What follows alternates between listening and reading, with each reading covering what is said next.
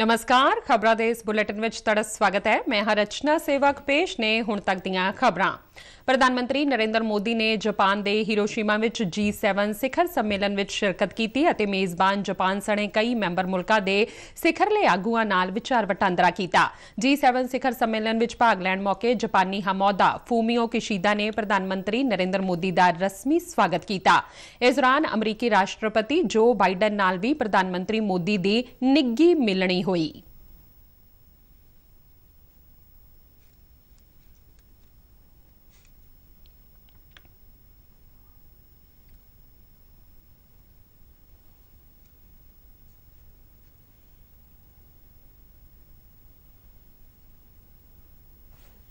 ਸੰਮੇਲਨ ਦੇ ਆਸੇ-ਪਾਸੇ ਪ੍ਰਧਾਨ ਮੰਤਰੀ ਨੇ ਜਾਪਾਨ ਦੇ ਪ੍ਰਧਾਨ ਮੰਤਰੀ, ਦੱਖਣ ਕੋਰੀਆ ਦੇ ਰਾਸ਼ਟਰਪਤੀ ਅਤੇ ਵੀਅਤਨਾਮੀ ਪ੍ਰਧਾਨ ਮੰਤਰੀ ਨਾਲ ਦੁਵੱਲੀਆਂ ਬੈਠਕਾਂ ਕੀਤੀਆਂ। ਫੂਮੀਓ ਕਿਸ਼ੀਦਾ ਨੇ ਹੀਰੋਸ਼ੀਮਾ ਵਿੱਚ ਬੋਧੀ ਰੁੱਖ ਦਾ ਇੱਕ ਪੌਦਾ ਲਗਾਏ ਜਾਣ ਤੇ ਪ੍ਰਧਾਨ ਮੰਤਰੀ ਮੋਦੀ ਦਾ ਧੰਨਵਾਦ ਕੀਤਾ। ਪ੍ਰਧਾਨ ਮੰਤਰੀ ਮੋਦੀ ਵੱਲੋਂ ਇਸੇ ਵਰੇ ਮਾਰਚ ਮਹੀਨੇ ਉਹਨਾਂ ਨੂੰ ਇਹ ਪੌਦਾ ਤੋਹਫੇ ਦੇ ਰੂਪ ਵਿੱਚ ਭੇਟ ਕੀਤਾ ਸੀ। ਇਸੇ ਦੌਰਾਨ ਪ੍ਰਧਾਨ ਮੰਤਰੀ ਨੇ ਹੀਰੋਸ਼ੀਮਾ ਵਿੱਚ ਰਾਸ਼ਟਰਪਿਤਾ ਮਹਾਤਮਾ ਗਾਂਧੀ ਦੇ ਬੁੱਤ ਤੋਂ ਪਰਦਾ ਹਟਾਉਣ ਦੀ ਰਸਮ ਅਦਾ ਕੀਤੀ। ਇਸ ਮੌਕੇ ਪ੍ਰਧਾਨ ਮੰਤਰੀ ਨੇ ਕਿਹਾ ਕਿ ਇਹ ਬੁੱਤ ਅਜਿਹੇ ਸ਼ਹਿਰ ਲਈ ਇੱਕ ਟੁਕਵੀਂ ਸ਼ਰਧਾਂਜਲੀ ਹੈ, ਜੋ ਸ਼ਾਂਤੀ ਲਈ ਮਨੁੱਖਤਾ ਦੀ ਇੱਛਾ ਦਾ ਪ੍ਰਤੀਕ ਹੈ। ਵਿਦੇਸ਼ ਮੰਤਰਾਲੇ ਵੱਲੋਂ ਦਿੱਤੀ ਗਈ ਜਾਣਕਾਰੀ ਮੁਤਾਬਕ ਪ੍ਰਧਾਨ ਮੰਤਰੀ ਮੋਦੀ ਅਤੇ ਜਾਪਾਨੀ ਹਮੌਦਾ ਫੂਮੀਓ ਕਸ਼ੀਦਾ ਨੇ ਵਪਾਰ, ਅਰਥਚਾਰੇ ਅਤੇ ਸੱਭਿਆਚਾਰ ਸਣੇ ਦੁਵੱਲੀ ਮਿੱਤਰਤਾ ਨੂੰ ਵਧਾਉਣ ਲਈ ਵੱਖ-ਵੱਖ ਪਹਿਲੂਆਂ ਤੇ ਵਿਚਾਰਾਂ ਦੀ ਸਾਂਝ ਪਾਈ। ਇਸ ਤੋਂ ਇਲਾਵਾ G7 ਅਤੇ G20 ਦੀਆਂ ਪ੍ਰਧਾਨਗੀਆਂ ਅਤੇ ਗਲੋਬਲ ਸਾਊਥ ਦੀ ਆਵਾਜ਼ ਨੂੰ ਬੁਲੰਦ ਕਰਨ ਲਈ ਆਪਸੀ ਸਹਿਯੋਗ ਨੂੰ ਬਿਹਤਰ ਬਣਾਉਣ ਤੇ ਵੀ ਗੱਲਬਾਤ ਕੀਤੀ ਗਈ। ਦੋਹਾਂ ਸਿਖਰਲੇ ਆਗੂ ਆਗੂਆਂ ਨੇ ਹਿੰਦ ਪ੍ਰਸ਼ਾਂਤ ਖੇਤਰ ਵਿੱਚ ਭਾਈਵਾਲੀ ਨੂੰ ਮਜ਼ਬੂਤ ਕਰਨ ਅਤੇ ਮੌਜੂਦਾ ਖੇਤਰੀ ਗਤੀਵਿਧੀਆਂ ਤੇ ਚਰਚਾ ਕੀਤੀ। ਇਸੇ ਦੌਰਾਨ ਪ੍ਰਧਾਨ ਮੰਤਰੀ ਨਰਿੰਦਰ ਮੋਦੀ ਨੇ ਯੂਕਰੇਨ ਦੇ ਰਾਸ਼ਟਰਪਤੀ ਵਲਾਦੀਮੀਰ ਯੂਲੈਂਸਕੀ ਨਾਲ ਵਫਦ ਪੱਧਰ ਦੀ ਗੱਲਬਾਤ ਕੀਤੀ।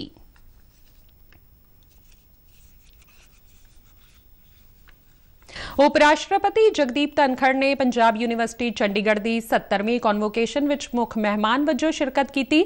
ਚੰਡੀਗੜ੍ਹ ਪੁੱਜਣ ਤੇ ਪੰਜਾਬ ਦੇ ਰਾਜਪਾਲ ਬਨਵਾਰੀ ਲਾਲ ਪੁਰੋਹਿਤ ਅਤੇ ਹਰਿਆਣਾ ਦੇ ਰਾਜਪਾਲ ਬੰਡਾਰੂ ਦੱਤਾਤਰੇ ਤੋਂ ਇਲਾਵਾ ਹੋਰਨਾਂ ਕਈ ਸ਼ਖਸੀਅਤਾਂ ਨੇ ਉਪ ਰਾਸ਼ਟਰਪਤੀ ਦਾ ਸਵਾਗਤ ਕੀਤਾ। ਉਪ ਰਾਸ਼ਟਰਪਤੀ ਨੇ ਗਾਰਡ ਆਫ ਆਨਰ ਦਾ ਨਿਰੀਖਣ ਵੀ ਕੀਤਾ। ਪੰਜਾਬ ਰਾਜ ਭਵਨ ਵਿਖੇ ਪੁੱਜਣ ਤੇ ਹਰਿਆਣਾ ਦੇ ਮੁੱਖ ਮੰਤਰੀ ਮਨੋਹਰ ਲਾਲ ਖੱਟਰ ਨੇ ਉਹਨਾਂ ਨਾਲ ਰਸਮੀ ਭੇਂਟ ਕੀਤੀ। ਉਪ ਰਾਸ਼ਟਰਪਤੀ ਜਗਦੀਪ ਧਨਖੜ ਨੇ ਆਪਣੀ ਧਰਮ ਪਤਨੀ ਡਾਕਟਰ ਸੁਦੇਸ਼ ਧਨਖੜ ਨਾਲ ਪੰਜਾਬ ਯੂਨੀਵਰਸਿਟੀ ਵਿੱਚ ਇੱਕ ਬੂਟਾ ਵੀ ਲਗਾਇਆ। ਕਨਵੋਕੇਸ਼ਨ ਦੌਰਾਨ ਉਪ ਰਾਸ਼ਟਰਪਤੀ ਨੇ ਕਈ ਉੱਗੀਆਂ ਸ਼ਖਸੀਅਤਾਂ ਨੂੰ ਵੀ ਸਨਮਾਨਿਤ ਕੀਤਾ। ਉਹਨਾਂ ਡਾਕਟਰ ਰਤਨ ਸਿੰਘ ਜੱਗੀ ਨੂੰ ਪੰਜਾਬ ਯੂਨੀਵਰਸਿਟੀ ਗਿਆਨ ਰਤਨ ਪੁਰਸਕਾਰ, ਡਾਕਟਰ ਇਰਸ਼ਾਦ ਕਾਮਿਲ ਨੂੰ ਯੂਨੀਵਰਸਿਟੀ ਸਾਹਿਤ ਰਤਨ ਪੁਰਸਕਾਰ, ਡਾਕਟਰ ਵੀਨਾ ਟੰਡਨ ਨੂੰ ਯੂਨੀਵਰਸਿਟੀ ਵਿਗਿਆਨ ਰਤਨ ਪੁਰਸਕਾਰ ਨਾਲ ਸਨਮਾਨਿਤ ਕੀਤਾ। ਵਿਦਿਆਰਥੀਆਂ ਨੂੰ ਸੰਬੋਧਨ ਕਰਦਿਆਂ ਉਪ ਰਾਸ਼ਟਰਪਤੀ ਨੇ ਕਿਹਾ ਕਿ ਸਿੱਖਿਆ ਸਮਾਜ ਦੇ ਇੱਕ ਸਮਾਨ ਵਿਕਾਸ ਨੂੰ ਯਕੀਨੀ ਬਣਾਉਣ ਦਾ ਸਭ ਤੋਂ ਪ੍ਰਭਾਵਸ਼ਾਲੀ ਮਾਧਿਅਮ ਹੈ। ਉਹਨਾਂ ਕਿਹਾ ਕਿ ਨੌਜਵਾਨਾਂ ਕੋਲ ਭਾਰਤ ਦੀ ਪ੍ਰਗਤੀ ਦਾ ਖਰੜਾ ਮੌਜੂਦ ਹੈ, ਜਿਸ ਨੂੰ ਅਮਲ ਵਿੱਚ ਲਿਆ ਕੇ ਉਹ ਦੇਸ਼ ਨੂੰ ਅੱਗੇ ਵਧਾ ਸਕਦੇ ਨੇ। ਉਹਨਾਂ ਨੌਜਵਾਨਾਂ ਨੂੰ ਭੈ ਮੁਕਤ, ਰਚਨਾਤਮਕ, ਨਵਾਚਾਰੀ ਆਤਮ ਵਿਸ਼ਵਾਸੀ ਅਤੇ ਮਿਹਨਤਕਸ਼ ਬਣਨ ਦਾ ਸੱਦਾ ਦਿੱਤਾ। ਕਾਂਗਰਸ ਵਿਧਾਨਕਾਰ ਦਲ ਦੇ ਆਗੂ ਸਿੱਧਾਰਮਈਆ ਨੇ ਕਰਨਾਟਕ ਦੇ ਮੁੱਖ ਮੰਤਰੀ ਵਜੋਂ ਸਹੁੰ ਚੁੱਕ ਲਈ ਹੈ। ਕਰਨਾਟਕ ਕਾਂਗਰਸ ਦੇ ਪ੍ਰਧਾਨ ਡੀਕੇ ਸ਼ਿਵਕੁਮਾਰ ਨੇ ਉਪ ਮੁੱਖ ਮੰਤਰੀ ਵਜੋਂ ਅਹੁਦੇ ਦੀ ਸਹੁੰ ਚੁੱਕੀ।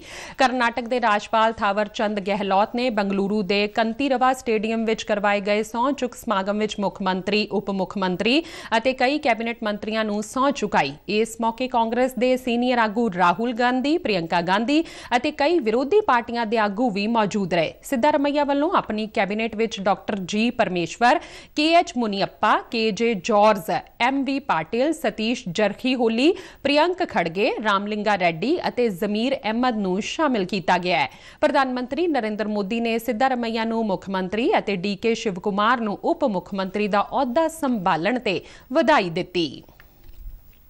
ਭਾਰਤ ਸਰਕਾਰ ਦੇ ਯੁਵਾ ਮਾਮਲੇ ਅਤੇ ਖੇਡ ਮੰਤਰਾਲੇ ਅਧੀਨ ਨਹਿਰੂ ਯੁਵਾ ਕੇਂਦਰ ਵੱਲੋਂ ਤਰਨਤਾਰਨ ਦੇ ਪਿੰਡ ਰਟੋਲ ਦੇ ਸਰਕਾਰੀ ਸੀਨੀਅਰ ਸੈਕੰਡਰੀ ਸਕੂਲ ਵਿੱਚ ਕੈਚ ਦਾ ਰੇਨ ਵਿਸ਼ੇ ਤੇ ਸੈਮੀਨਾਰ ਕਰਵਾਇਆ ਗਿਆ। ਸੈਮੀਨਾਰ ਦੀ ਸ਼ੁਰੂਆਤ ਮੌਕੇ ਸਾਰੇ ਮਹਿਮਾਨਾਂ ਅਤੇ ਸ਼ਾਮਲ ਹੋਏ ਲੋਕਾਂ ਨੇ ਜਲ ਸੰਭਾਲ ਲਈ ਸਹੁੰ ਚੁੱਕੀ। ਇਸ ਮੌਕੇ ਵੱਖ-ਵੱਖ ਬੁਲਾਰਿਆਂ ਨੇ ਜਲ ਸੰਭਾਲ ਤੇ ਜ਼ੋਰ ਦਿੱਤਾ ਅਤੇ ਲੋਕਾਂ ਨੂੰ ਵੱਖ-ਵੱਖ ਉਪਰਾਲਿਆਂ ਰਾਹੀਂ ਧਰਤੀ ਹੇਠਲਾ ਪਾਣੀ ਬਚਾਉਣ ਲਈ ਆਖਿਆ।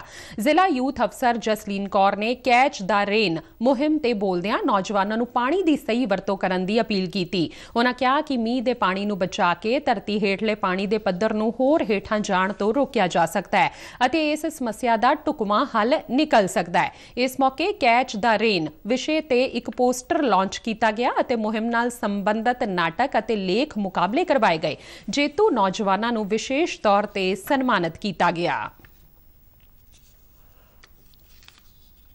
ਦੇਸ਼ ਭਰ ਦੇ ਬੱਚਿਆਂ ਨੂੰ ਗੁਣਵੱਤਾ ਭਰਪੂਰ ਅਤੇ ਪਹੁੰਚਯੋਗ ਸਿੱਖਿਆ ਮੁਹੱਈਆ ਕਰਵਾਉਣ ਲਈ ਜਵਾਹਰ ਨਵੋਦਿਆ ਵਿਦਿਆਲਿਆ ਵੱਲੋਂ 11ਵੀਂ ਜਮਾਤ ਵਿੱਚ ਦਾਖਲੇ ਲਈ ਅਰਜ਼ੀਆਂ ਮੰਗੀਆਂ ਗਈਆਂ ਨੇ। ਲੇਟਰਲ ਐਂਟਰੀ ਚੋਣ ਪ੍ਰੀਖਿਆ ਦੇ ਜ਼ਰੀਏ ਵਿਦਿਆਰਥੀਆਂ ਨੂੰ 11ਵੀਂ ਜਮਾਤ ਵਿੱਚ ਦਾਖਲ ਕੀਤਾ ਜਾਵੇਗਾ।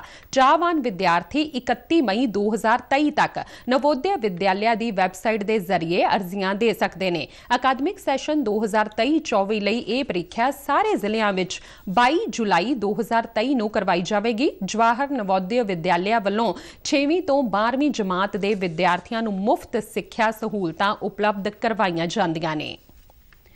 ਖਬਰਾਂ ਦੇ ਬੁਲੇਟਿਨ ਸਾਡੇ ਦਰਸ਼ਕ ਆਰਐਨਯੂ ਕੇ ਜਲੰਧਰ ਦੇ YouTube ਚੈਨਲ, Facebook ਪੇਜ ਅਤੇ Twitter ਹੈਂਡਲ ਤੇ ਵੀ ਦੇਖ ਸਕਦੇ ਨੇ। ਤੇ ਇਸ ਦੇ ਨਾਲ ਹੀ ਖਬਰਾਂ ਦਾ ਇਹ ਬੁਲੇਟਿਨ ਖਤਮ ਹੁੰਦਾ ਹੈ। ਇਜਾਜ਼ਤ ਦਿਓ। ਨਮਸਕਾਰ।